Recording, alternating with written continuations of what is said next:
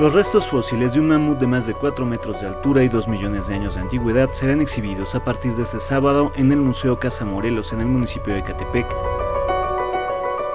Pasó por un periodo de restauración, ¿no? de diferentes eh, fases, hasta ahora que, que, lo ves ya armado.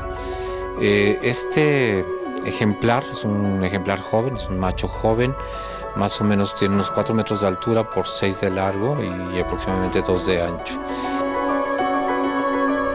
La osamenta fue encontrada en 1995 en la comunidad de Ejidos de San Cristóbal en esta demarcación y es considerada una de las más completas de las encontradas en México.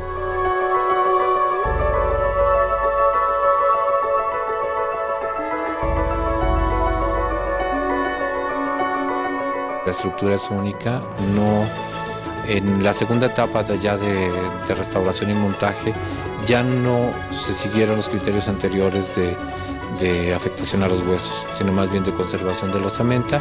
Y esto nos lleva a lo que tú, tú puedes ver aquí, que son realmente elementos de soportería lo que están este, deteniendo los, los huesos.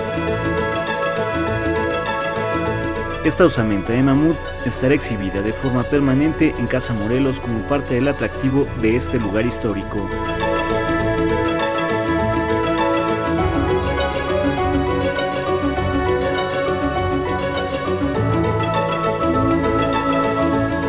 Con imágenes de Jorge Mercado, Francisco Paredes, Noticieros Televisa, Estado de México.